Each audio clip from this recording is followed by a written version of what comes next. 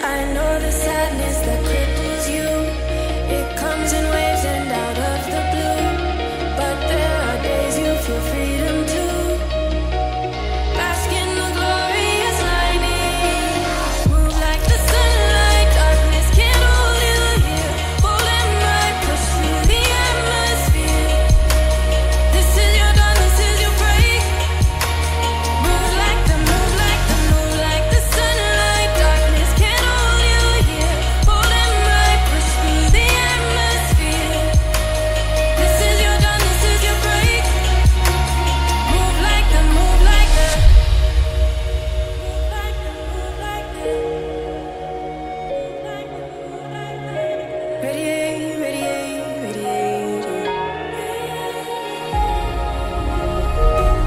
Gravitate